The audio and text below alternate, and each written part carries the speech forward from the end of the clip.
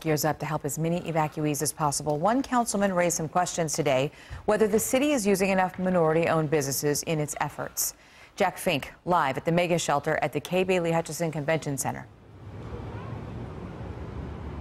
Well, Kaylee, today the Dallas City Council voted to spend up to $8 million in reserve funds on Harvey related expenses for the mega shelter here and the city's three other shelters. And Councilman Kevin Felder requested that the city's CFO provide documentation that the city is using enough African American and minority owned businesses as suppliers.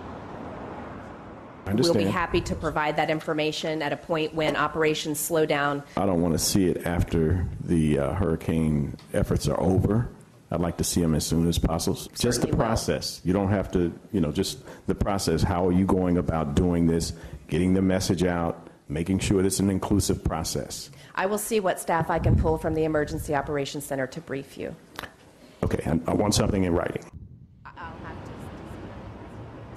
Now, after the meeting, the city's CFO told me it's all hands on deck right now and that she wouldn't pull anyone away from the Emergency Operations Center. Both the CFO and the mayor, Mike Rawlings, say the city relies on its contracted suppliers who are diverse, but in emergencies, the process is different. We're making these decisions in the run, and so there's not a traditional RFP process where you get three bids in the matter of hours. You got to say, who's got cots? Let's bring them in. Who's got toilet paper? Let's bring them in. Both the mayor and the CFO say the city is committed to using minority and women owned businesses. Live in Dallas, Jack Fink, CBS 11 News.